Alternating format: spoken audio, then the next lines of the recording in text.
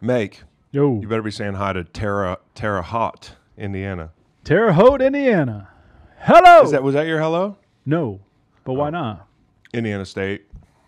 Yeah, cream. We should be saying hi to Seton Hall. We should be saying hi to uh, to St. John's. We should be saying hi to everybody who we robbed of an opportunity to to play in the play-in game. We were 69th in KenPom. All I ever hear you do Ken is talk about KenPom. Ken like, Palm? When I ask you what's the system for betting games, you're like it's KenPom. It's I not KenPom. Ken Palm. I love. it? I, it's Bart Torvik, which is essentially KenPom. See? So here's the thing. I get why people hate us. And when people were comparing us to Iowa football the other night, of course, we're talking about Virginia basketball, who had 14 points in the first half, at which point me and Kyle turned on John Madden and played Madden in the second half. Kyle beat me. Oh, I will. game, but that's Iowa besides football. So two programs that just win all the time. That's Okay. That's and what. the Kansas City Chiefs. but seriously, is that the comparison we're supposed to be mad about? Enjoy the Iowa joke. They're like, ah, it's fun to watch football where there's like not a lot of scoring, but it's not fun to watch college basketball where there's not a lot of scoring. I have so much respect for Tony Bennett. I'm not toeing this Stephen A. Smith line at all, but what I am saying is I understand why people hate us. Virginia is replay review in the NFL. You say you hate it, but deep down you love it because it it leads to conversation. It leads to people being big mad. Yeah, when when have we ever gotten Stephen A. Smith to talk about a play-in game? Exactly. Yeah, I, it was surreal. All the things that UVA basketball has done, and we're looking at you know UVA basketball graphic up on uh, what was it? Uh, It led every show. It's just UVA in general. I remember going back to when I was in junior high and we went to Lane Stadium to watch you guys play the Hokies. And throughout the parking lot, you could hear Colin Cowherd's monologue, uh, which was the anti UVA, you guys are a bunch of yuppies monologue. And at the time, it really pissed me off, but you become desensitized to it. And as you guys were saying while we were watching, this is the ultimate Virginia fan experience. We lack the firepower. We're just not up for the big one. And the big one always gets us. we're just not re- we're just not ready. the big one always gets. Too many Okay. practices, not enough practices. They had three practices since Sunday. Somebody said that was not enough. Too many. Look, nobody wanted to watch it. Coach Bennett didn't want to watch it. He said the group was maxed out. Uh huh. There was one returning starter. They won 23 games. I um I think if Kyle was out there, we could have scored 16 points in the first half. I think if there Would were have had a harder time finishing on some of those second chance. Completely agree. I think Yeah. if there were six guys out there for Virginia instead of five, it wouldn't have made a difference. we were just that bad. Yeah. So we How shouldn't have been in bigger there. So you you admit we shouldn't have been in there. Well, I think we earned the bid. I mean, this is a pretty simple argument to follow, fella. No, it's really not. We earned the bid. We earned the bid, and then we played very But yet we weren't good enough to be out there. Plenty of teams are going to lose today and tomorrow. Not not like that. Oh, sure. not like that. Frickin' Boise. Oh, it was disgusting. You know the reason people hate UVA is your attitude. All right. Hate us because you ain't us. We win almost 80% of the I can admit it. basketball We shouldn't have probably been in that tournament, and I'm sorry. And so what I did is I got online, I followed the prompts, and I donated to St. John's University Athletic Department and Seton Hall's athletic department. I'm not donating to Indiana State. I'd like to give another shout out. Uh, Well, can I finish this? Yes. 42, po- 42 points the other night. I went $42 Okay. for 12 months. That that really adds up. So this is my olive branch to the people of uh, St. John, wherever the fuck that is, New York, Yes. and uh, Seton Hall, wherever the fuck that is. New Jersey. New Jersey. Uh, I'm sorry, you guys probably shouldn't have been in the. You probably should have been in the tournament. Yeah. St. John's wasn't even the first four out. Should have been in the tournament. Hey, how'd that work out for you? You're always like, I can't watch Virginia. Oh, I can't watch Virginia games with anyone else because it's bad luck. No, not because it's bad luck, because you guys are casuals and don't understand the game and piss me off. wow. I literally do an NFL podcast with you. Huh? huh? I literally pay you to do an NFL podcast with me. You're the definition of an NFL casual. Yeah, yeah, yeah. So you can't watch the game with us for one night? No, I'm Joe Fan. The audience relates to Joe Fan. Mm-hmm. You know, Yes. Yeah. you need you, you need Joe Fan. I Fan think there's alongside. good points on both sides of the fence here. Well, he wouldn't come watch the game with us the other night because he's got this lifelong bit where he doesn't watch any UVA sports It's with you us. know what? a I went and watched the game. bit. and I You don't. You don't do it. You don't watch the game. night. You don't watch football games either Pizza. with other people.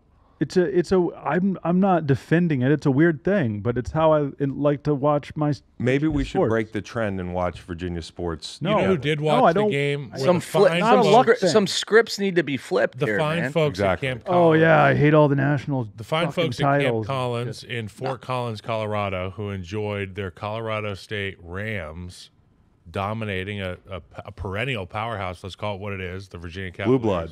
A blue blood team. Now we're talking. we should be appreciative of the fact that we are so bent out of shape by the way this team looked. Because when I left Charlottesville in 2009, UVA was kind of the laughing stock, and I remember the football team was the reason that they were competitive. They were the the the the Buddy lead We were the city on the hill. of they were the Buddy lead genes of the the program, and I left, and the next thing you know, UVA's at Rosenblatt every season. They're in the College World Series. They won it one year, I think, a couple years. Brian O'Connor, 15. you should have left Yep. sooner. great coach. The basketball team. I, I- Get out you know, now. I'm sitting in a Matt Nagy meeting, uh, the coach of the year that year, by the way, and he's showing Kyle Guy and his perseverance and the national championship, the blue blood pedigree that it takes to win. So that's the silver It takes lining NBA here. players to win. There were multiple NBA That's the players on silver that team. lining. Yeah. though. UVA So unless is we can not, get No. it, UVA this- is not this- a bottom of the barrel. This deal. is a pure. You know what Kyle Guy had? Toughness. Correct. a little swag too. The the, Correct. He's a big toughness guy. the Huge. problem I've been saying it for a while here. the problem with the system here at Virginia is that you really need players to be here three, four, five years, and that's not going to happen anymore in this portal era.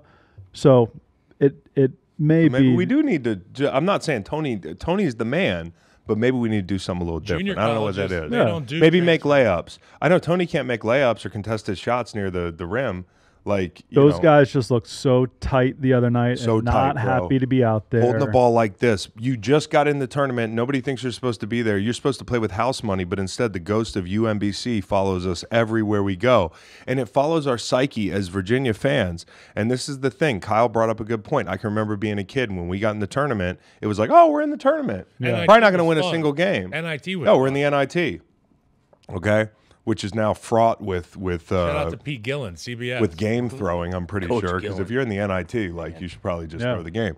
I'm not saying that for real, but like in the in the minds of some of these young kids who aren't getting paid, and they might fifth year seniors up at Madison Square Garden, like, hey, fuck it, dude, we're playing Seton Hall. They're supposed to win the NIT. They're supposed to be in the NCAA tournament because Virginia sucks.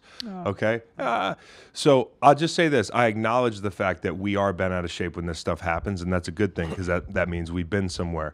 And I thought the, the I thought that winning a title for a couple years would it would be like playing with house money for the rest of your life as a fan. But what it does is it robs you of your joy, and you're acutely aware of what like being on heroin is. That's why the You know, like fans nothing so else, nothing else works. That's why the Pa- Patriots fans are so miserable Yeah, Can I can I well, they're just miserable they're in general. chasing the dragon. They don't The get enough dragon is- sunlight. They don't get enough vitamin D up in Dragon New is England. the synergy between a coach and a great and a great roster. You need the sun. And sometimes, need like UVA, they have the great coach, and people want him fired, but people also want him retained for life, right? nobody with a with a with a brain But in there their is head that argument. So I just I just want to to I want to interject. Not everybody cares about Virginia as much, but I feel like if we didn't say anything about Virginia, people would have said, "Oh, you guys are hiding from this thing." I'm not hiding from this thing. This is who we are. This is exactly who we are There's as, a- a- Are as an athletic program. We are. There's one valid excuse. It's an excuse, but I think it's valid. Okay. Who's were rolling in 2020, 23 and 7. They had won about 10 in a row, and COVID comes along. And yeah, every program had to deal with the, the COVID pause, but only one team coming off a championship had to deal with it. So you really had that momentum stopped in its tracks. Okay, that's fair. I would argue that here. that helps the team coming off a national That's fair. Can- can we get that breath? Let's talk about Shohei Ohtani. Do you remember in Godzilla minus one when the the kamikaze came home and he didn't run his plane into Pearl Harbor and they were like, "Why are you here?" Like I feel like it's gonna be even worse when this guy comes home unemployed. Like people are like, "You let Shohei down," Damn. because people are gonna have to believe the lie that the MLB is gonna tell. I mean, they're they're gonna sweep this under the rug. He's so gonna be the fall guy. dishonorable. Oh, they're gonna. Oh, the translator's doing the honorable thing. He's doing the honorable thing. He's thrusting his samurai sword into his chest But can they see through that in, For in the home? I knew you were gonna bring up don't know if they Godzilla. can. Are they gonna say you must die? they don't have a there's the problem okay this is an interesting thing because as we talk about this his legacy in america even if they sweep this under the rug i think a lot of people are going to be convinced including myself that shohei ohtani is a gambler and i don't think he's a degenerate gambler because when you really put into context what he was gambling he's got like 680 mil coming down the pipe in the future here like i don't think he's gambling irresponsibly for the way he has it structured would seem as if he he might have some habits that he's protecting himself from. No question. which is cool. No question. And like gambling on its head, if he's not gambling on baseball, is not the end of the world. I think he can overcome this. Part of being an ultra uh, uber competitive person, like it's in every locker room. doubt. People gamble. They love to gamble. They want in on the action, right, all the time. But the rules are getting a little bit more, you know, like especially if you've moved to America and you don't understand. Like the translator alleges that he didn't know that this bookie, who he bought, it, he met at a poker tournament, he didn't know that that that that you know betting offshore or betting with an illegal book is in fact illegal. The translator got something lost in translation. Yep. This guy makes 300 to 500k a year. He's been working since 2008. His name's Ippei Mizuhara. Okay. Hey. Uh, and You're you're uh, you're American when you go into the bathroom. You're American when you come out of the bathroom. What are you when you're in the bathroom? European. European. Okay. The only thing that's not being discussed is So, so to get so proud of so to one. give Like- people a little background here, the translator who's been working since 2018, making a boatload of money, is alleged to have engaged in massive theft of Ohtani. Only after Ohtani's uh, spokesperson, who's basically a backup translator, because he lost his other translator. Like this guy's like he, he tapped the right arm, and the backup translator comes in, and the backup translator puts the old translator in contact with ESPN. They do a 90 minute interview. This is like Tuesday, and then Wednesday they say, no, we retract his entire statement that we sent him to give because our lawyers called us and said, no, it's not going to work if you say that Ohtani was was a part of the transaction where he allegedly was covering up for this guy's losses, like where he's helping his buddy out. And I, I do So is that what the buddy said on the interview? He essentially was like, Shohei has a problem and I'm covering him. No, what his buddy said on the interview was that I have a problem and Shohei was covering for me. Got it. They found these wires evidently in January. They kicked this guy's door down, this guy, uh, Mathew Bowyer. But evidently, it, it was back in October uh, that they kicked this guy's door down. And then in January, they un- uncovered the wires from Ohtani.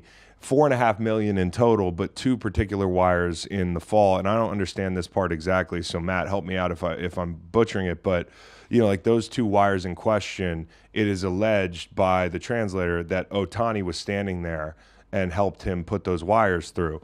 And then they reversed course on Wednesday and said, nah, that's not what happened at all. This is theft. He stole from Ohtani. And here's my issue. You you mean to tell me in in the in the in the reality where the translator is stealing four and a half million dollars from his good friend that he's willing to steal from his good friend, but he is not betting baseball for fear that his employer will find out and fire him. If you get found out, you're not going to have a job because your best friend is going to fire you. It's almost as if he was already found out. He Well, already n- No, it's almost as if the guy placing bets has something to lose Yeah. betting baseball. Yeah.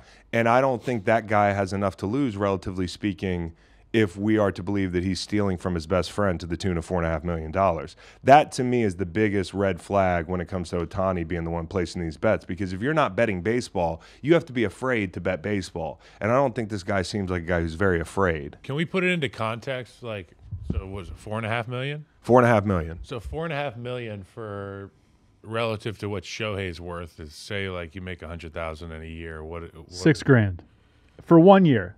Shohei's making seventy million this Yeah. year. So if I mean, you it's make a hundred it's grand, not it's grand. not much money for Ohtani. Okay, so I'll just tell you I'll tell you this. Like the other part that I would poke a hole in the in the theft hypothesis is like um, you know, this guy's with Shohei every hour of the day. You're gonna tell me he's he's sweating international soccer, he's probably betting Turkish basketball like the Jags guy who stole from the Jags. Dude, Shohei's a degenerate. No, uh, what I'm saying is like if you're to believe that the translator Yes. is that they're together every hour of the day, you don't think that Shohei would be like maybe my friend has a gambling problem, Or maybe they're just watching together. or maybe they're That's gambling together. Yeah, and and he is the fall guy because ultimately that's what I think is happening. He's hundred percent the fall guy. also, and and also this Kev and like, you know, I don't think a bookie. You tell me is gonna is gonna let a, a regular guy rack up four and a half million dollars in debt. And I also don't think a bookie is going to brag about having Shohei Ohtani on the books unless it's Shohei Ohtani. I could be wrong. So this book's got ties to the to, to minor league players. That that's documented. Yeah, they got they got Yeah, popped. and Yeah. he and he, he got popped in November. They saw all this. They had a few months to figure out, hey, how are we gonna fix this? He signs the big deal with the Dodgers. The wires were all the issue because the guy, the book didn't think he had eyes on him, and he did. And when that comes out, now we got to fix this. And of course, what you just said is correct in the fact that you're not going to take a play that big from a random guy. No, you're not. No chance. You're not. And also- No, Mizuhara. you're not going to let you're not going to let a tab go that high without knowing that there's some kind of back there. And I don't know what it's like having that much money or how easy it is to get cash out. That's like getting credit But it's at the pretty casino. br- there's like, not. It's you- hard to get. It's cash. hard, it's hard to get cash that. out because if you go get 10 grand out, Just ask Kyle.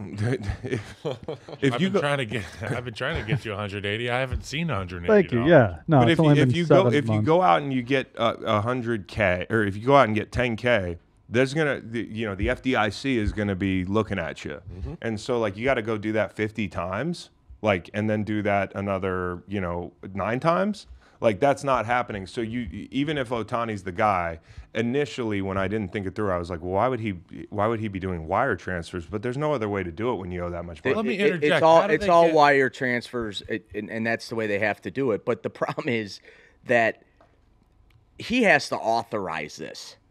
There, there's no way he doesn't know about this, and and, and, and they should have they should have framed it as a loan instead of talking about this theft thing and left it at that. Yes, that would have been. Exactly and what also, they- what's shocking to me is that they, if if we're to believe that Ohtani was gambling and he was the fall guy, that they didn't have like a real plan, because this thing has been sloppy. Like the sending him to ESPN, retracting the statement, you know, then calling him a thief. Like the timeline of this goes back to October. If this guy got his door kicked down in October, his clientele knows about it. No doubt. And I would like to see how Ohtani was hitting in October.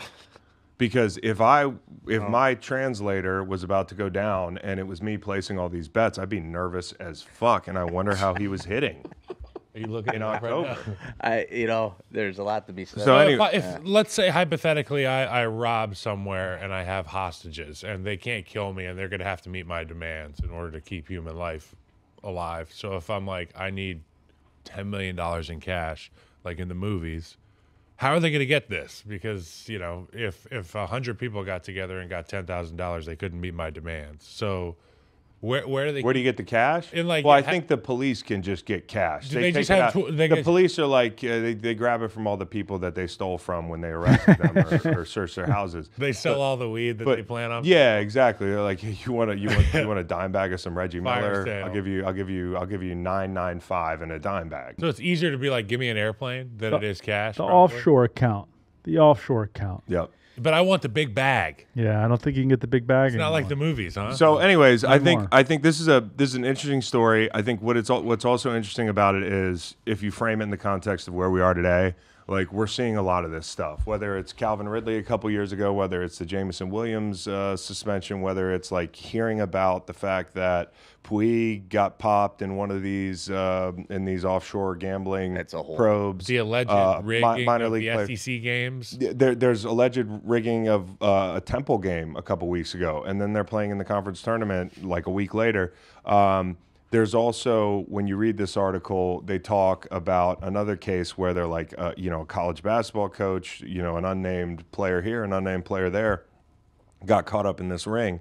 And what I think, you know, what I think people are losing in this thing is we're thinking at this juncture that this is going to change sports. I think it could change sports. I, I think it already has. But I think what we're also, this is a perfect example of somebody who's from Japan, has never been able to gamble, cannot handle the dopamine rush, gets to America, Sounds like gets I went on, to Tallahassee gets on first DraftKings. time. Yeah, gets on DraftKings We got to send him home. can't handle it, and he's just not ready. And I think some people are not ready for the responsibility of gambling with their money. Uh, now, I don't think that that we should. I don't think that we should be out. I, I love gambling. I think it's I think it's awesome, and I think if you're responsible, it can be great and a lot of fun. But people have to handle.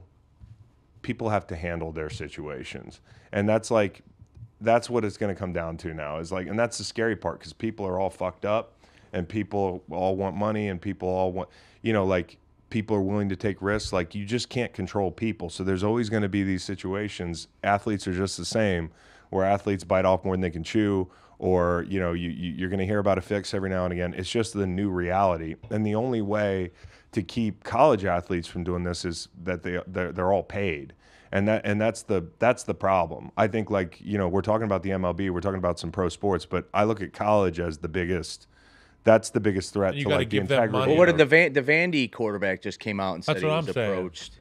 I don't believe that unless I don't he either. winds up. I don't either, but he, it was Unless he winds up in a ditch, I don't believe him. It was said. I'm just saying that it was put out there, so I, Yeah. I'm not necessarily believing that either. But the, you know, Puig also there's there's other. I mean, this goes to the cartel, man. Those Yeah. guys are owning these guys and letting them go play and saying, "Hey, you got to pay us back." Yeah. So there there's other things going on there. I gambling is so prevalent now, which is fine.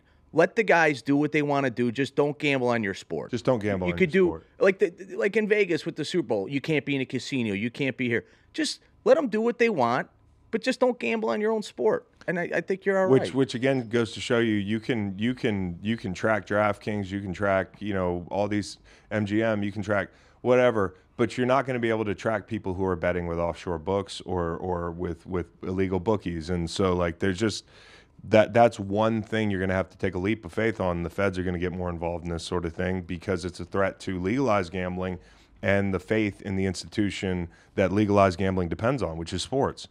So I, it's going to be interesting over the next five, seven years how this thing goes. I mean, like, you guys, did you guys read the Jags article? Yes. So this uh, article from Katie Strang in the Athletic is about Am- Amit Patel. You've probably heard about this. Is the guy that stole, stole 22 million from the Jaguars. Um, he was working for the Jags. The, the article is called "Feeding the Demon," and uh, my favorite part of the article, of course, this guy's getting ready to be sentenced for for massive theft. Um, is when they say Patel's attorney asked for probation, citing his client's gambling addiction and subsequent recovery efforts as reasons for leniency. Like he's in the middle of a recovery here. We can't send this guy to jail. Four, mi- four, four years, $22 million of fraudulent charges on the club credit card when covering his tracks by sending falsified files to the team's accounting department. How would that work, Macon? Yeah, that part wasn't made exactly clear. But hey, hey guys, we I'm needed a new how he did scoreboard. Yeah. It Yeah. costs 12 million. And it only costs six. Right. like, dude, it's just so brazen. Like this is what what what you know addiction does to people, whether it's gambling or alcohol or whatever.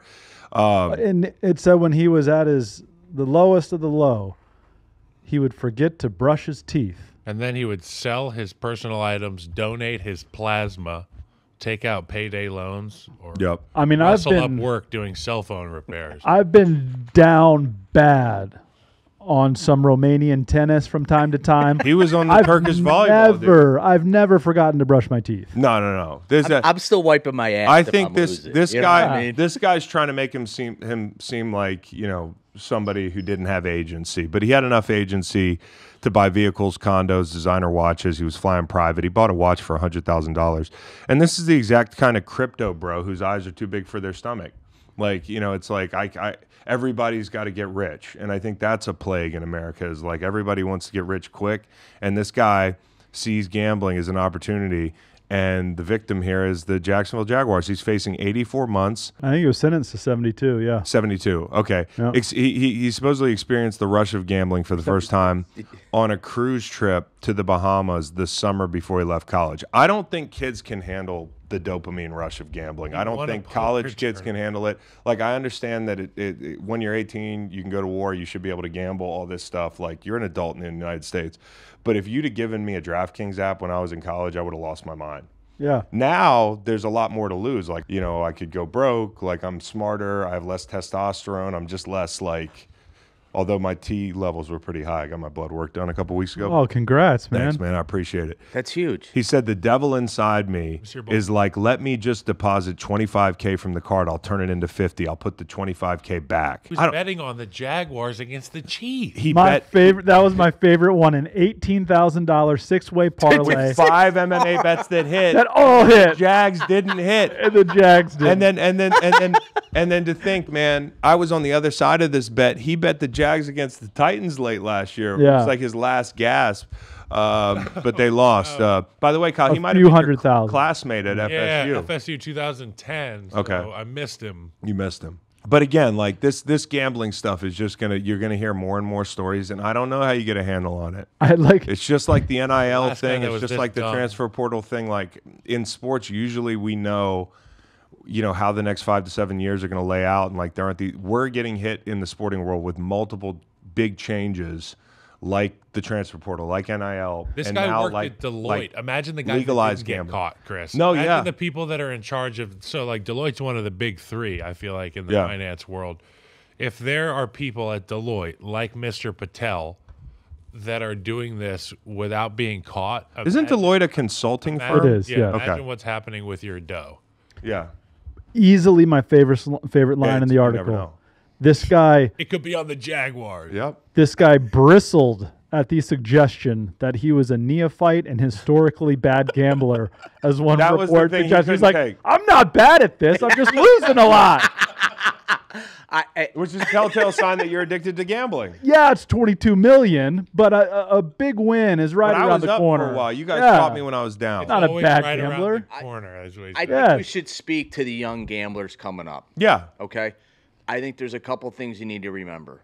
One, there's a reason there's all those lights in Vegas. Yep. All right. Don't think you're gonna win when you go there. And the flowers, they replace the flowers every night at the win. Uh, Beautiful. and the books give you like extra money when you spend money. And Yeah. I'm trying to teach life lessons here. they were That's giving him saying. extra money. They Number were giving two- him Yeah. extra money to bet. Number Yeah. two, don't DraftKings. bet money you don't have. Yep. Number one rule. Yep. That's it.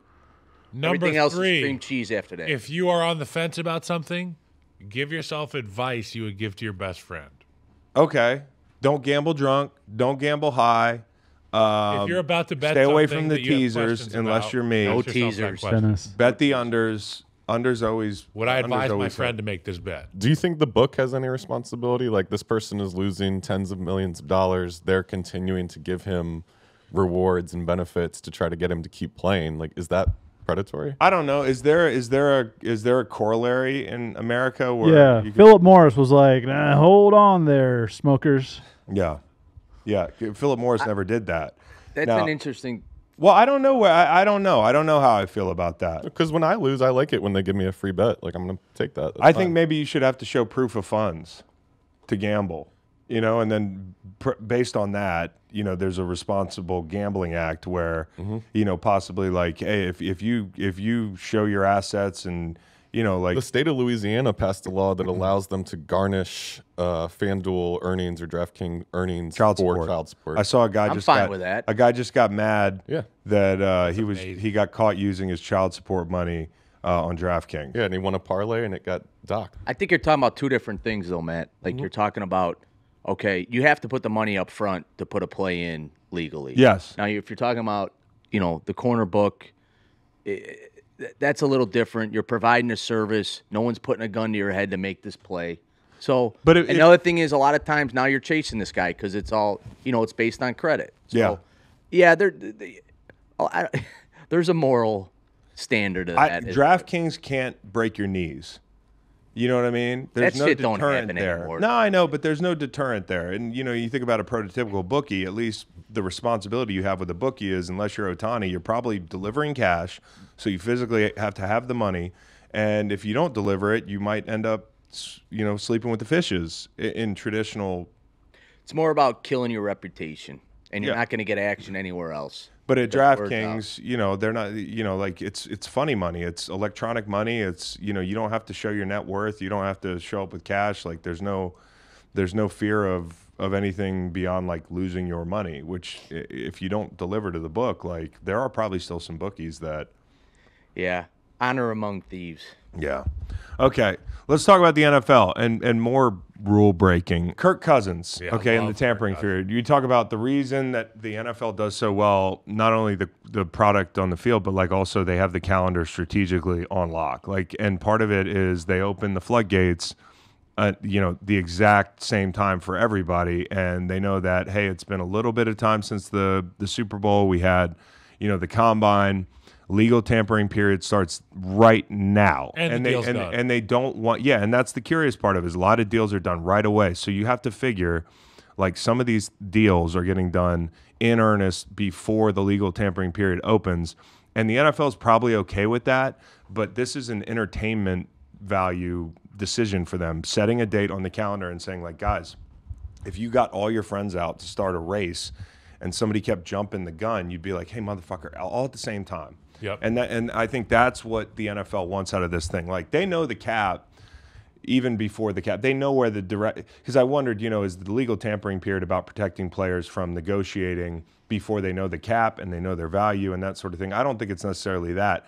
I think what it is is if you're an agent and you go to the combine or you don't go to the combine rather and you you don't have time to sit in a room and figure out the value, the market value of the player you're representing, you're kind of flying blind. I think the combine is by nature um, it's kind of like a, a, a black market, right? Where teams are in there and agents are in there, and they're they're they are tampering, they are talking. If you bug the combine, it would make you blush. Like there's a lot going on that I don't think is being reported upon. And then when the floodgates open, all this happens. So what happened is Kirk Cousins up there at his first press conference down in Atlanta threw a pick six his first drive. You know, he's like, "Yeah, when I talked to the Falcons yesterday, and it's day one of the legal tampering Whoopsie period daisy. everybody's like, eh. Now, if I were Kirk Cousins, and and this is what I would do because everybody knows it's a whirlwind, right? It's always a whirlwind. How many times you heard the? I would go with the whirlwind defense. I'd be like, man, I don't know what, what day day it it was. is. Yep. It was twelve fifteen this morning, and I thought it was yesterday. You know, and I think that probably worked unless they bugged his phones, and then he's he's texting with Atlanta's trainers. Here's the one thing about Kirk that I think's unique, and injured players. I almost think there should be a, a period that opens up earlier for injured players, like somebody coming off an Achilles. When you join a new team, that rehab process might be different than the team you just came from. And I, I know Minnesota has a great athletic training staff. I know some of the guys up there, they're probably doing a great job, but Atlanta's probably doing something a little different. So if you're going to be spending the next six months of the, the calendar Get a head start. rehabbing, like you should be able to get a head start with your new team. I like that. So if you're hurt, I think the legal tampering period should open earlier. So I understand that in this situation, it is Injured reserve hurt. Yeah, it's not it's not as it's not as clandestine as like you know Tom Brady on a yacht. That's what docked Miami a pick. Uh, you know, it's not as bad as the Maclin tampering, which docked Kansas City multiple picks. There were fines. Um, it's not as bad as John Gannon getting tampered with when he's under contract with the Eagles and getting ready for the Super Bowl. So I think we might see a slap on the wrist. But you know, it does lend itself to an interesting conversation about the reason for the legal tampering period and then what the NFL is actually going to do about it. And they're kind of stepping into the NBA's field. Like NBA has illegal tampering happen every single year. Like the Knicks just got fined for it for Jalen Brunson. Might And they know. And they design. and they know, here. and there's no real like solution. oxymoron, legal tampering. Yeah. Wait. Yeah. Yeah. No, they, Legal they- tampering. They need to change the name of the period, anyways. But an, an They interesting should part call of it this, the percolation period because things are happening. Mm. it's just things are percolating. And, and PFT, uh, Pro Football Talk, the real Pro Football Talk, uh, Mike Florio said that you know he talked to an executive who said this is like awful and they should be doc picks and like the Vikings could be. Um, you know, the, the Vikings could be owed picks in this situation. Like, if you go by the letter of the law, there is a scenario where, and it happened with the Cardinals and the Eagles, where they swapped picks and there were picks exchanged as a result of the tampering. Um, the reason that could be really big is the Vikings have quietly, this trade fell under the radar. The Vikings traded uh, with Houston and accrued some capital that they can 23rd pick this that they can throw into a, a deal to move up for a quarterback. Like if they were Swapped rushers. if they were able to accrue another pick out of this thing, it, it only helps them more. And and so like the Vikings, that tells you that they're probably going to try to move up and grab somebody in the wake of that trade, which is bad for my guy Sam Darnold, but good for the Vikings because the Vikings, I think, are an extremely well coached team, and you know they, they're talented, and so you know they're in a division that Howard calls him the tall McVay. he is the tall McVay. I think he's going to have that I kind. thought it was a funny way to. No, it's a funny way to put it. Uh, you know, I, I- I think the Vikings could be could be angling to make a big move. So let's talk quarterbacks.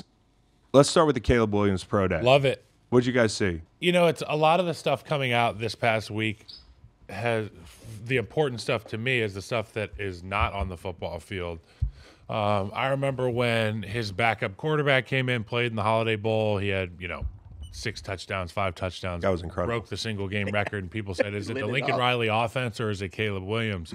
What's the deal there?" I remember the team was saying, "We're a team now." You know what I'm saying? And from the outside looking in, a lot of people it left a bad taste in their mouths about this guy, Caleb Williams. You know, Well, there was the crying, which why is he not didn't like. playing? Why is he a crybaby? Why does he paint his nails? And why is this backup quarterback breaking your records game one in the biggest game of the year?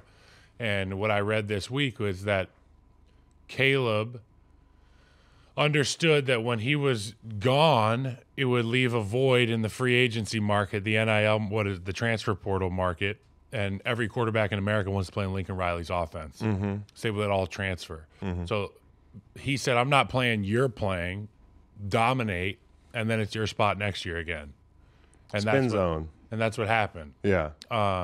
My allegedly. my friend stole from me. So, in my opinion, Caleb Williams did him a solid. It speaks volumes about his character. Um, I love to see Keenan Allen in team issued gear at the Bears Pro- Dapping him at up. the USC Pro Day. Obviously, Keenan lives in the Southern California Yeah. area, still has for a long time. To go there and be standing there like a scout, essentially, and be like, "What's up?" and Caleb Yeah. sees him. That dap, that's the first of many daps between those two players, Possibly. um, potentially Potentially. and it was exciting and and I saw him throw left-handed I saw him throw absolute long shot bombs it's exciting Caleb Williams is the is the guy in my opinion and Threw the ball 65 yards. I can't wait to watch him play yeah. on my Madden team That's going to be great. because you know the passing game is is the meta in the game and if you've got a quarterback like Caleb Williams you can make every throw on the run On time. going left Because if you're right controlling him, you can throw it on time. yeah, and the po- the pocket poise is something that I'm excited about from him with this Bears offense. People think that Chicago is where quarterbacks go to die. I think this is the guy that disproves that theory. So what I thought was interesting about it, it's it's a campaign to show that he can throw on time, right? Like the pro day, as if throwing on time at a pro day tells me anything. Now I'm not saying he's not going to be great. I've been like two years ago, I thought he was the second coming of Jesus Christ, but in the last year, I kind of came back down to earth a little bit. I'm a little bit more like, hey, pump your brakes. One of the reasons is the the the clock. You know, like in college, he was not asked to to play within a timing structured offense, and Playing that's on rookie mode timing. yeah, and so like people want to see can he get the ball out of his hands quickly? He's got Brock Purdy's coach, which I think is an interesting decision. Now I'm not in that world of knowing who each qu- quarterback guru is, but if there's one thing I think Brock does um, does well most of the time, and when he doesn't, he actually does a good job of extending plays. Is you know he understands the timing of an offense and. I think you know, like if he's going with a Brock Purdy coach, that says a lot about what He's they're admitting is a deficiency or something that they want people to think that he's going to be better at. Um, they say lots of timing throws from the pocket uh, during that that pro day. Daniel Jeremiah called it a salad pro day, which is basically like it's just a like a little appetizer. So there wasn't much that you could really glean from it. Um, do you remember Zach Wilson's pro day? So all I'm saying is these pro days, these workouts at the combine where they throw the ball on air. I remember watching Justin Herbert at the combine, sailing passes, missing guys left and right. And, you know, I, I just don't think there's a lot to glean from a pro day. You know, he looks pretty throwing a ball, no question. The deep ball, 65 yards, great. But I, we're not going to know until he gets into a uniform. Do you think players stand to gain from not participating in the pro day? It depending on who you are. Marvin Harrison Jr. is, Gotcha. you know, he says I'm not working out at the pro day. Um, when I did my pro day, I didn't let the teams work me out. I let Al Groh work me out because I knew there was more to lose if somebody, you know, s- some I D thought line that coach pro day was a is unique trying to prove opportunity, something. though. It was like you get to be with that staff that could potentially draft you. I remember, I remember vividly. I was working with Ryan Clanton and a few of the guys at Oregon, and the Bears were there, and um, and like you said, it's either you work out with your guy or you work out with them. And I remember I started with with our guys, and then they kind of took over. I looked at it as an opportunity for as a player, like if Caleb, if you know, if the Bears coaches wanted to go out and run some drills, I, I would advise uh, a young player to say yes. But if they're going to take him anyways, it doesn't matter. Like for you, you were slotted as bottom of the first round guy. Well, yeah, in my and, and- position. And, maybe that helped you Yes. jump some spots. You're right. And so, like, it just depends on who Yours you and are mine were different and how much leverage you have. Yeah. You know what I mean? And so, I, I get why somebody might not want to work out, but I, I, I would say, like, hey, the You pro day. show off. It's hard to know when it comes to looking at a quarterback throwing on air. Even if it's not for the the team that's going to draft you, you know that there's going to be cameras on you, and especially in in today's age, you're going to be on ESPN. Like show off a little bit. Yeah, no question. There's a story for Carson Palmer's uh, pro day where uh, I, I don't think a couple scouts ever heard this, but he said, Hey, you want nose up or nose down? And they're like, What are you talking about? And he said, "I could throw the ball flat, or I'll throw the the, the, the nose coming down." And they were like, "Whoa!" Okay. And he did it, and it was pretty. And he could and he could throw. Yeah. He was a he was a hell of a quarterback. He goes, "You want a catchable, or you want me throwing a missile?" And it was like, "Wow." Yeah, this guy's giving it to us how however you want it, and like in a situation like that, you can come away impressed. But you know, you've got the Caleb Williams uh, pro day, you have the Justin Fields news, which we haven't really talked about. Um, yeah, and Kev made a great point. They they really, you know, the Friday news dump, they slipped that in on like St. Patrick's Day weekend in Chicago.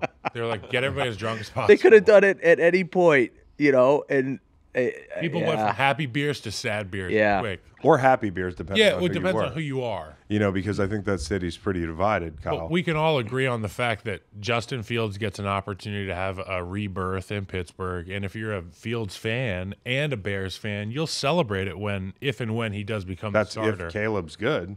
yeah, I mean, we're we're assuming that the pick that they go with at one will be the answer at We ass- we are assuming but we're talking about Justin Fields. so much. So yeah. it's like, you know, if Caleb does well and Justin takes over and plays well, we're going to have celebrations in both cities. Pittsburgh's going to hit the lottery, and the Chicago fans will say, we did right by our guy. Or you could have, or you could have it be an, a, you know, a, a, a zero. I don't know if it's a zero sum game for both of them, Or, yeah, where Russell's it's the like- starter forever, and Caleb's okay. or or they're bo- or they're both. It doesn't work out. Yeah. You know, and so I, I think there's a whole host of. Uh, I, I think everybody thinks they're going to be right or wrong in this. What does thing. working out look like for Caleb Williams in his first year? What's the Mendoza? Well, it's not even about his first year, but you better be in the playoffs and making deep runs on his rookie contract because Yeah. what you say by making this trade is that this guy is going to put us on a trajectory, not unlike you know a CJ Stroud deal, where CJ Stroud a year into his contract, you're going to talk about Houston in a second and everything they've done. He's an anomaly. that window, but that's what you're saying Caleb should be. Well, the That's- li- that's it's somewhere between where Fields had you, which was, man, we're pretty close to making the playoffs, and the CJ Stroud thing, which is we could give Patrick Mahomes a run for his money on the road or at the NRG Stadium. So, I mean, that's a big gap to put. But but I will say the way people who are pro making the trade and sending Fields away and drafting Williams, they are doing it because they think this guy is Patrick Mahomes.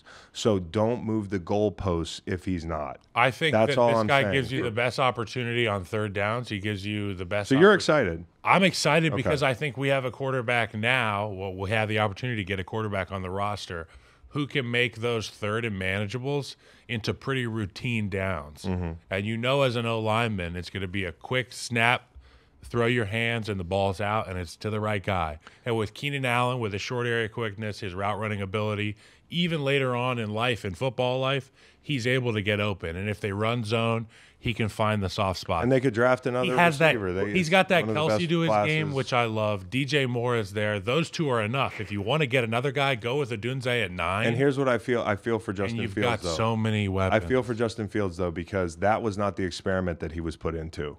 So the the the outcome of his experiment is going to be judged through a different lens. Um, and you know, the, Look, the John Fox circumstances got fired. He built the best defense in football. Vic Fangio inherited it, and people celebrated Vic Fangio, and he went on trajectory as a coach. But John Fox built that defense. Yeah. Nobody gives him that credit. But it's So- not. It's not even about Fields building anything. It's about when Fields comes in. What's the house look like? The house was shot when Fields came in.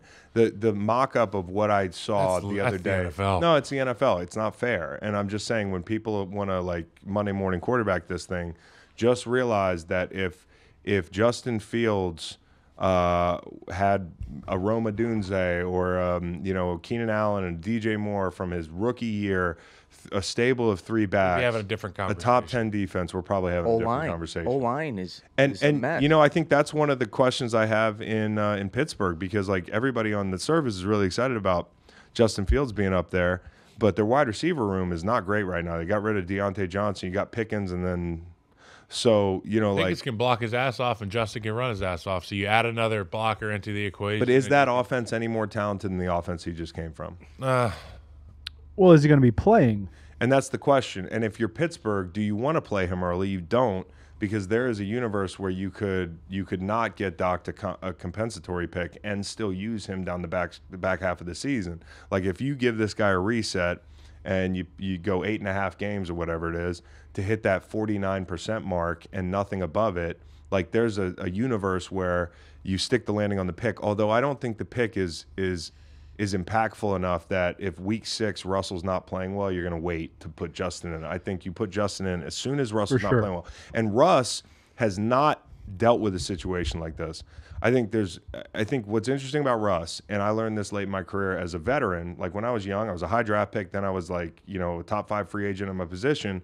So at that point, I'm feeling like, you know, this is what the NFL's like. Like I have clout. I have, I, you know, people don't fuck me over. Like, OG. now Russ is getting to see what the, the other half lives like. And I got to see that late in my career as a position player Yeah. where all of a sudden you're like, man, that's not fair. You know, you're used to fair.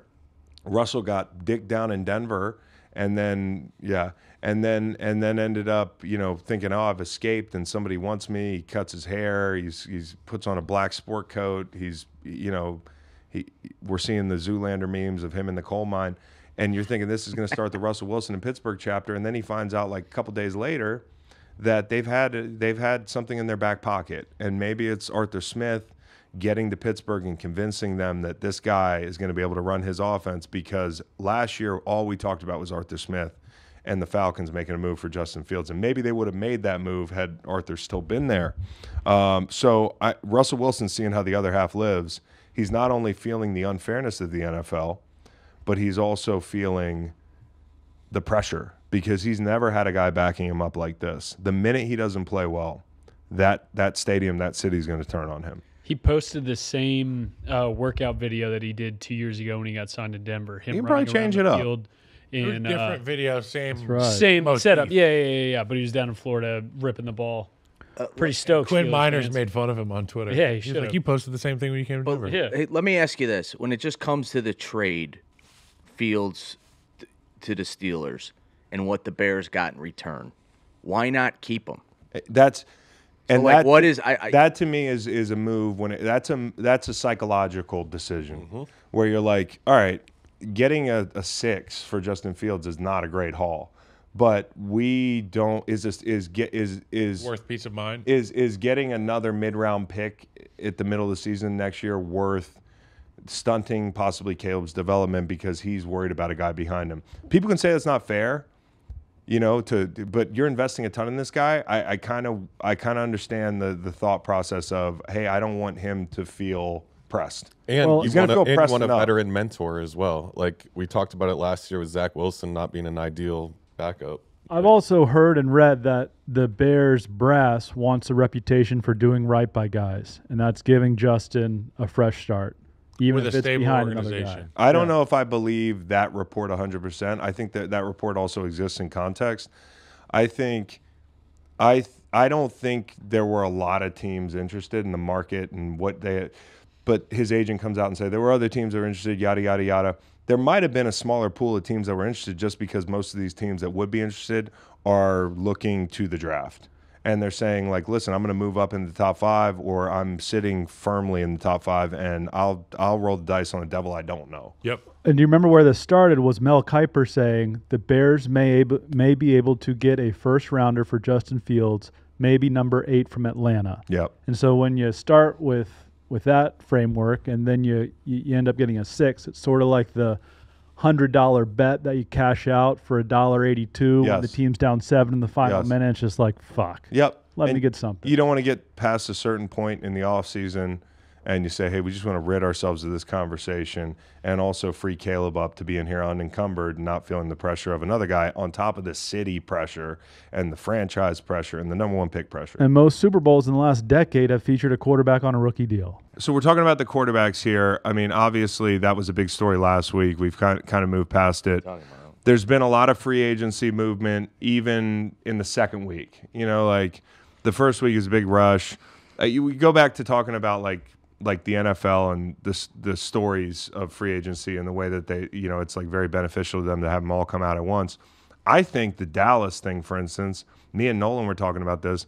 Dak, you don't think they've got Dallas isn't doing dick. They know they have to extend Dak, right?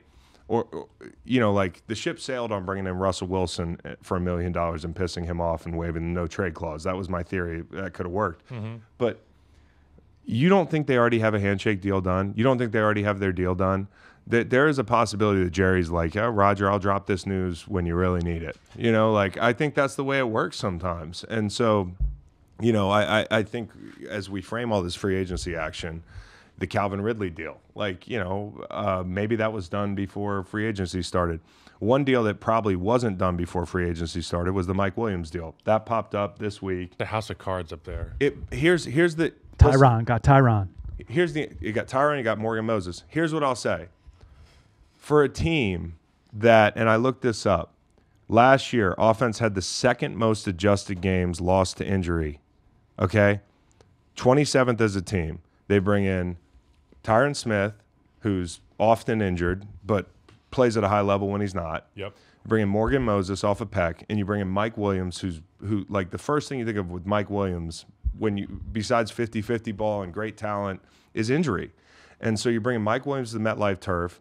You're you're you're you're you're filling in, and I think they're better if all these guys are healthy. The offense. They're a much better. better team if they're healthy. But what you have to realize is like Joe Douglas and Robert Saleh are in burn the ships mode. But what I think is cool about what they're doing is they're burning some of the ships. Burning the ships would entail trading away draft capital for a one year run. Like it would it would mean like setting the franchise back. The reason these are okay, I think, is because if these guys get hurt, you're not going to be hurting as a result of these moves in four years. Long term, yeah. Joe Douglas and Robert won't be there. And, you know, they have to take these gambles. If you have a healthy Mike Williams next to Garrett Wilson, Garrett Wilson got doubled as much as anybody in the league. I, without having to look, I would imagine, just judging by the people around him and the threats outside of him in the passing game, this is going to help him a lot. I also think the one thing that's interesting is I'd like to go back and look at Chargers tape. I bet you Mike Williams is a pretty good is a pretty good back shoulder fade catcher. He's a good 50-50 ball guy. But when you think about Aaron Rodgers, like who's that big guy that he can throw that back shoulder fade to? And I, I think Mike Williams would work really well in this offense if he is healthy. But I have concerns about the injuries. It is curious for a team with, with injuries like that last year that they go out and, and risk it on guys with injury history. Yeah. Kinlaw. Yeah. Kinlaw too? New York Jets. Yeah. Yeah. Yeah. So- nice little off season for them. It's a good offseason if everything breaks right. Tyrod Taylor. We talked Yeah. about how important backups are. And and why can and why not take risks? Because if you look around the the AFC East, you're not going to be there in a year if things don't go any well, anyways. But like Buffalo has has hit the restart button. They lost six starters the first couple days. You know, Miami is still feeling the effects of that spending spree from a couple years ago, and you know they they've got to consider Tua now. Can I tell you something I like, and you can tell me if I know ball or not? Danielle Hunter, Denico Autry to Houston. Oh, DJ Reader to Detroit. Yes, mm-hmm. Love that. Cam curled LA Rams. He's love good that. in There, Washington. there were more expensive options, and he's been a very good player. And and also bringing back um, the guy from Jacksonville, Williams. yeah. Uche stays in New England. Yeah. Cheap. Three million. Uh, the best thing that happened in New England last year was Judon getting hurt and Uche having to do it all himself and not being able to drive up his value. Yep, yep, yep. Uh, Tyler Biadasz, Washington Mm-hmm. Commander now. Uh, Commanders did some good things. I'll say this: I was I was looking at the the kid from Louv- Luvu, Frankie Luvu, and I was Yeah. thinking, oh, that'd be a good signing for Philly.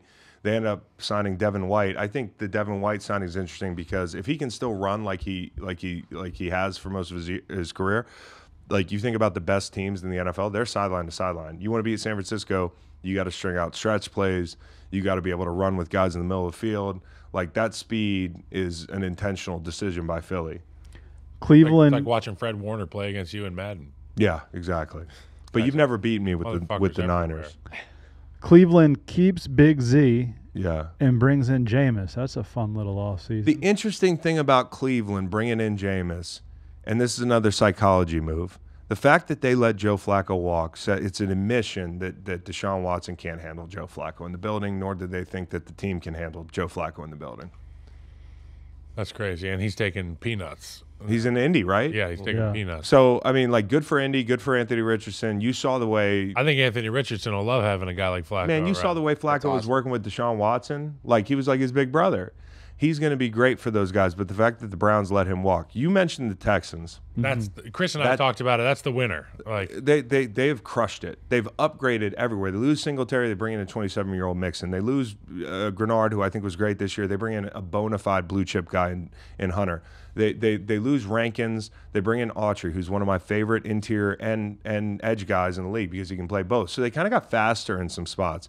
And Al-Shaair, who they got from the Titans, I think is going to pay dividends for them because uh, Ryan's had him in San Francisco. And when you think about a guy that can that can run his defense, a fast backer. You know, like I don't know, he's not Fred Warner, but to have a guy with that kind of speed in the middle of the field that can play the different kind of coverages that that that you're, you're going to play and, and all that's demanded of a linebacker in his scheme, that's big. They got faster in a lot of spots. Tommy Townsend, Houston Texan. Tommy Townsend, we love Tommy Townsend. They're not going sense to of, pump sense of urgency in Texas with uh I mean that when you got a quarterback like that, you got to go. You go. go, you, go. And this is the quickest, this is perfect for them. This is the way we talk about what I expect from the Caleb Williams deal or the Caleb Williams pick. If it works out to me, it's hey, in the second year, we're able to say, hey, we were pretty good last year, and now we're going all in. And that's what they're doing. And I think, and Kyle and I said this, Kyle was like, everybody's going to want to play with Houston and Madden next year. That, you know, Well, shit, they want to play with them now, but they're making sanctions against us. You know, Yeah, we're exactly. So good with them. But I think the real the, the thing is this: if you're building your team in the offseason, you're building it to beat the Kansas City Chiefs. yep.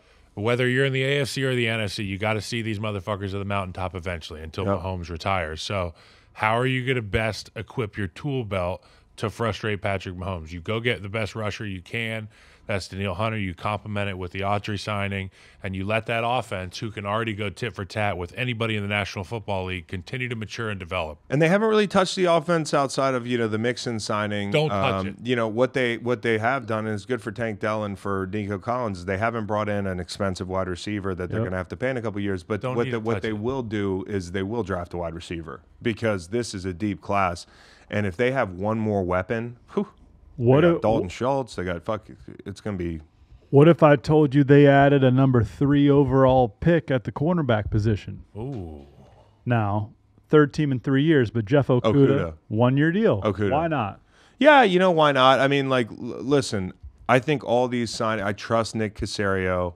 I trust that they know exactly where they are. They've hit everything in stride so far. They're just going to keep. They're going to keep moving forward. And I think they're America's team. when you look at the AFC next year, they are as as favorite in my mind as anybody to challenge Kansas City. And an upgrade, slight, slight upgrade in unis. Yes, what'd you think? Slight upgrade. Okay, For example, the Ravens, they got Derrick Henry. Yep. And everybody wants to tweet how excited they are, and we all see the Derrick Henry highlights. But how does that help you beat the but Chiefs? that quarterback in Houston, how does that help you beat the Chiefs, That bro? quarterback in Houston, buddy, he's already there. And I love Lamar, and Lamar's an MVP, but like, I would take CJ Stroud over Lamar. hundred And so, percent. and so that and so that is why, that is why, when you look at like Baltimore and adding a piece, like, do they change? Yeah, they have more leads than anybody in the league last year. They needed a big power back. Uh, they you also want Derrick Henry healthy late in the year. So to me, they're still going to add another back. Keaton Mitchell's going to be hurt for much of the year. Like to me, the Houston moves are like not checkmate moves, but they're moves that you know you're Serious to, move. to get the the king or the queen or however the fuck you play Serious chess. Like, moves. you know, they're a move away. You know, where the where the Ravens Check, not checkmate. The Ravens added somebody. They also lost a lot of players. Yeah. And they they looked like the same old playoff And team the when Chiefs, it came to the nut Chiefs. time. If it's if if it's not the Texans, in my opinion, it's the Chiefs that are flat out winners in free agency. the Hollywood you- Brown thing's great. You retain the biggest, yeah, he drops the ball some. the maybe biggest of the winning same, but- rusher in like playoff history, like Yep, Chris Jones. Chris Jones. Uh, the most clutch dominant rusher. The Sneed trade talks are kind of like uh, the fizzling out. The a little Sneed bit. trade talks are fizzling out a bit, and there's still time, but they've freed up contract space with Patrick, Yeah. and they've allowed Brett Veach to do what he does, and Well, th- and that's continue to add to a really good team. He doesn't want to fuck with the engine. He wants to just you know That- fix the side mirror. That's the unique thing of having Patrick Mahomes on a deal like that. They've been able to convert, um, you know, uh, what uh, base salary to bonuses the last couple of years, and doing that last year allowed them to pick up Mike Edwards, who played a lot of downs for them, and Drue Tranquill, who played a lot of downs for them. So oftentimes, when you're really good, people want to see you add big splash players, a la Hollywood Brown, even though it's not a huge splash. But what you're doing is you're making those incremental gains and fortifying your your team. You I know, with role players splash, and that sort of thing. Brown. So yeah, I think it, I think his sense of urgency goes through the roof because he understands that his targets are going to go up with Patrick Mahomes' his opportunity Yep.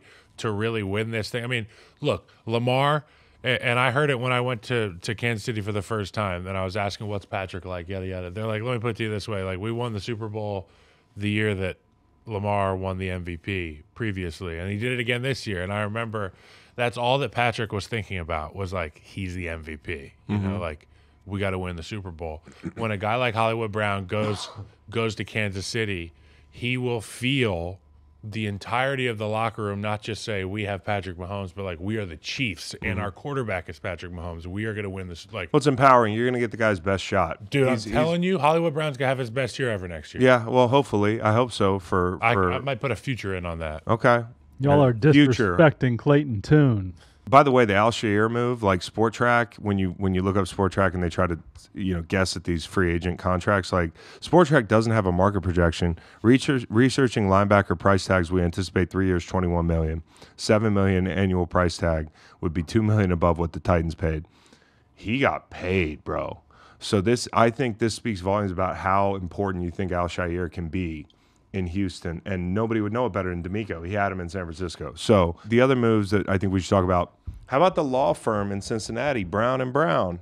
The two tackles now. You've got Orlando Brown and you've got Tre- Trent. Brown, and I think the Trent Brown move is great. They've quietly done some really good things. I think adding Geno Stone was a great addition. The Rankins thing, you know, I like Rankins. Um, they're going to miss Reader, but they're not going to have Reader for much of the year next year because of his injuries, even if he were back. So I think conversely, that's going to be exciting for Detroit when he comes back. Detroit, by the way, added um, a piece in Carlton Davis that I think is flying under the radar. The thing that's keeping them from being great is sometimes the quarterback and the back end. And Carlton Davis is a guy not only who can play, but he's also won a Super Bowl and that kind of veteran experience. Like DJ Reader coming in, he's been in a Super Bowl, like he's made deep runs. Like that's what that team needs too. There's no group that would uh, benefit more from veteran leadership than the DB room in the NFL. No question. You need like a babysitter in there. Yes. And and so uh, you know like Malcolm Jenkins is a perfect example when you know in Philly like I just thought he was such a key piece because he was like such an adult in the room and to have a guy back there it's such an important room um, you know that that has experience and has played on great defenses. Um, the thing I was going to say about Trent Brown is this. Why did Joe Burrow get hurt last year? Running for his life. he got hurt because of the the front side or the the, the blind side bull rush. He's a right-handed quarterback, left tackle Orlando Brown, who's a good player, and you play with him and everything. He got beat on a bull rush. He, his anchor is a little bit for his size, like can be a little bit questionable. Uh, Joe Burrow, he can escape just about anything but that rush, right? He can feel a nine-yard edge rush, and he's going to step up in the pocket. He can see stuff front side. He can handle middle pressure, but what he can't handle is a 370-pound man falling into his lap and hitting his hand or whatever it was. Like, remember I found that clip last year? That's how it happened. Trent Brown's best year, he was a left tackle. So I would consider if I were the Bengals swapping spots and putting Orlando at right. I don't know if he can play right, but Trent's best year, he was a lockdown left tackle. Look, and, that would be a, and that- he's not that's getting my fly bull- on the wall candidate. Yeah. Is when uh, Frank Pollack, who I believe is the offensive line coach in Cincinnati, sits both those two big motherfuckers down and says, "Okay, who's playing right tackle? Who's playing left tackle?" Yep. Because I know it's going to be a conversation. It's probably gonna be a conversation. Both guys are hard to move off their spot. Here, here's a signing that I was a Nobody little bit wants to play right tackle. The- Kevin Byard to the Bears for two years, fifteen mil. He didn't look that good in I'm Philly. confused by It's that. a lot of Okay, money. so we're on the same page there. Um, I'm a little bit.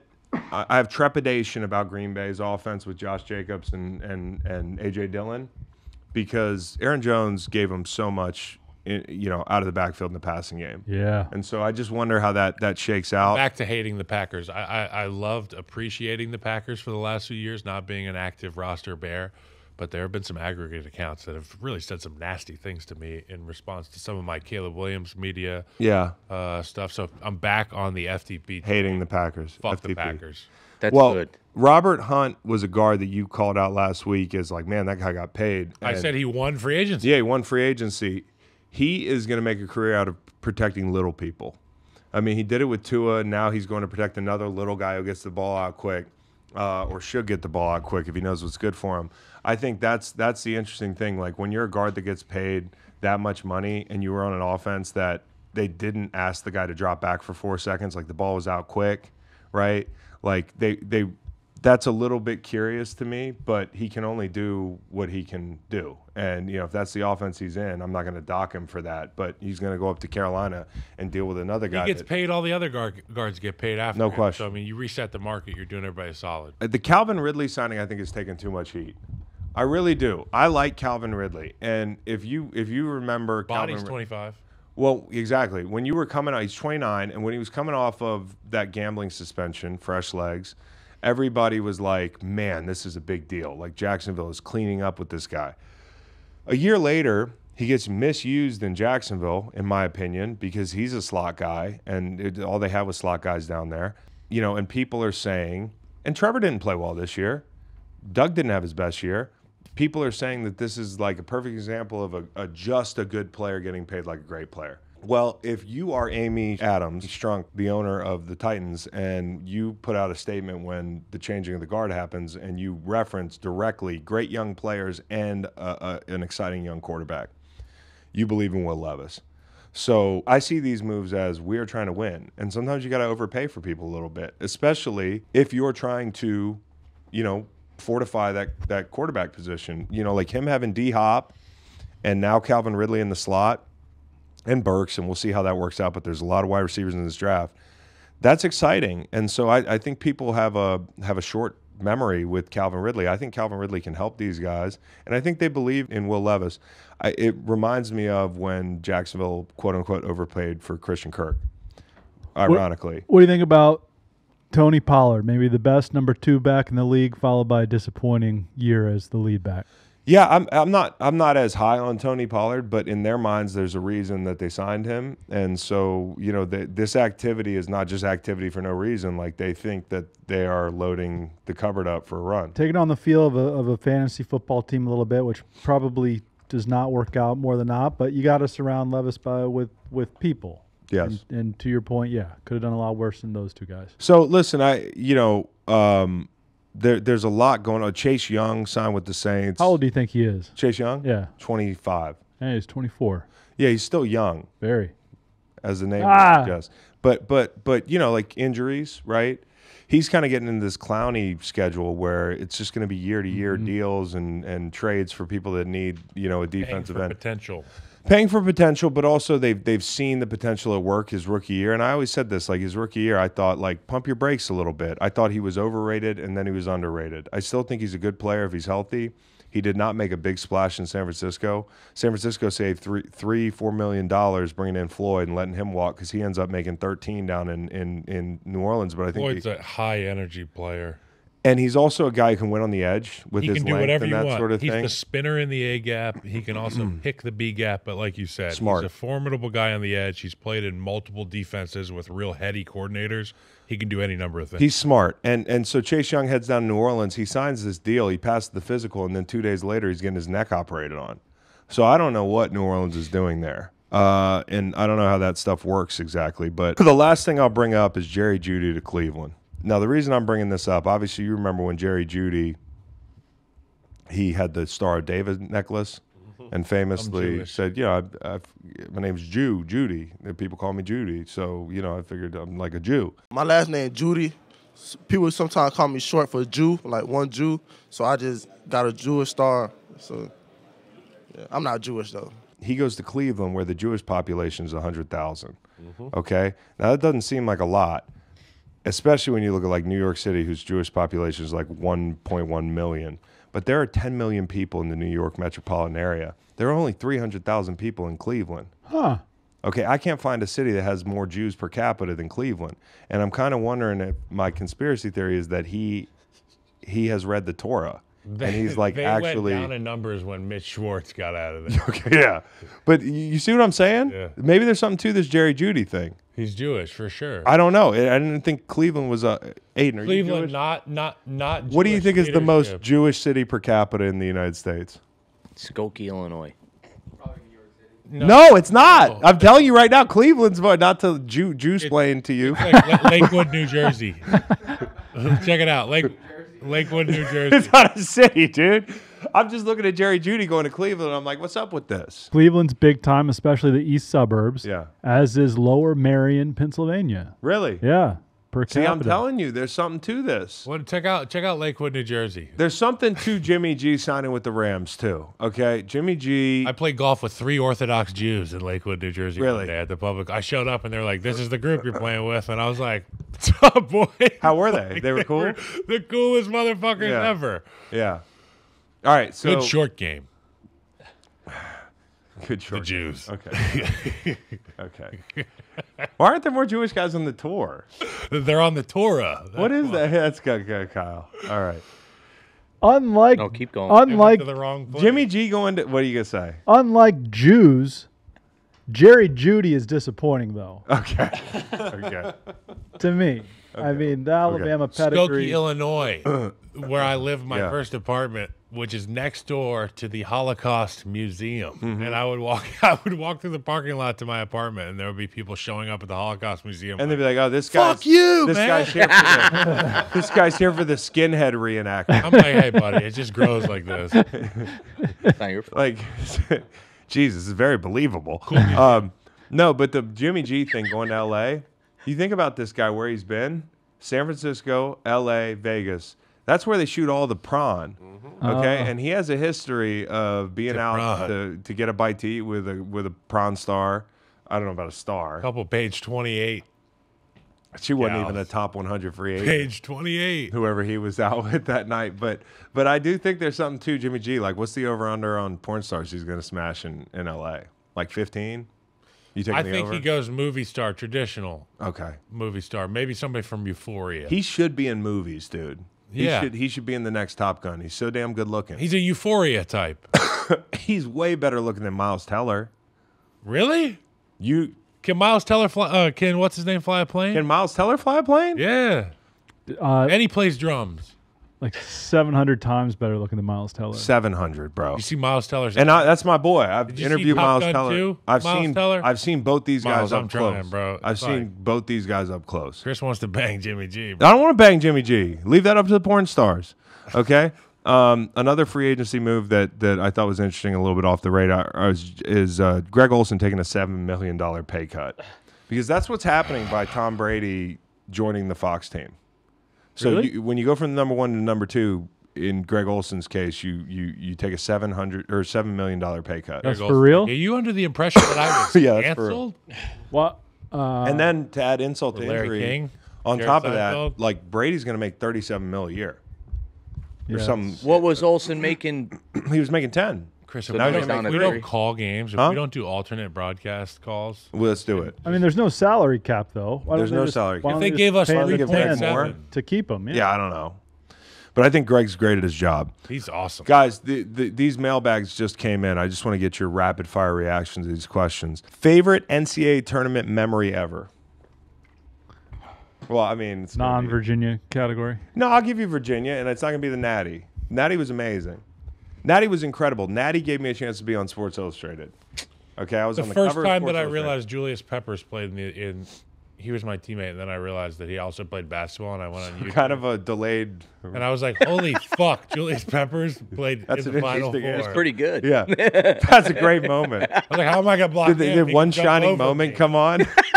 they played one shining moment in, in practice. But it was it was it was it wasn't the national championship, which was awesome. Sat next to Heath Miller, John Phillips, Tom Santi, all the tight ends, and uh, we watched Virginia beat Texas Tech. It was incredible. I I, I beat Dez Bryant. I, I we, we bet. I don't know. Dez didn't even go to Texas Tech, but he wanted action on the game, so I found him, and we bet a lot of money. Won that bet I pulled some strings, got you on the court after the game. got the on game. the court after the game. We got to pick up some confetti. We were wandering, but it was the Purdue game. Yeah. The Purdue game for me, Purdue game was what like when we beat Auburn, I kind of felt like we we we got a little lucky, you know, with that foul call, and I knew that we were going to deal with a lot of people saying like you guys don't deserve it, yada yada yada, even though we won the Natty. Um, but the Purdue game, Elite Eight, was one of the best basketball games I've ever seen, mm-hmm. and it was so up and down, and there was so much scoring. There were so many big shots hit. Like if you get a chance to go back and watch that game, you might like Virginia basketball again. Like when we were that team, who couldn't like us? Yeah. We didn't just play great defense. We knocked down shots off of pick and rolls. We we hit big threes. We we played physical. We didn't play tight. And I was tight. I was in the sports book in Vegas, hammered, and could not take it anymore. Five minutes ago in the game, I had to go back to my room, and I watched the final seconds of that game, drinking airplane bottles in my Wynn suite. And I, I'll never forget. Amir that. Patel. I'm screaming. I'm like screaming at the top of my lungs, running around there. I'm all alone. But like that for me was my favorite NCAA memory, along with the upsets. Like I can think of like you know the the George Mason type you know upsets. And I'm always a big fan of the upsets. But when my team, your team, Macon went on that run, like you could pick almost any of those games. Yeah. Kyle Guy hit those three free throws against Auburn to get to the national championship game. But one of the best think about this situation. One of the best games I ever see I ever saw in person was Purdue Tennessee. Purdue ends up well, let me not let me not blow it here. Same situation. Carson Edwards, they're down 2 to Tennessee, gets fouled shooting a 3. He goes up to the line and misses the first. One second remaining. He's got three free throws, misses the first. He's not going to, he can't win it now. Can you imagine that pressure? He knocks down the next two. Purdue goes on, scores 17 in overtime to beat Tennessee. Purdue advances to the, to the Elite Eight against Virginia. Virginia then has the miracle shot from Mamadi Diakite to It was send it incredible. to OT. The pass was Oh. incredible. Cisco. Cisco, yeah, he had the the dyed hair.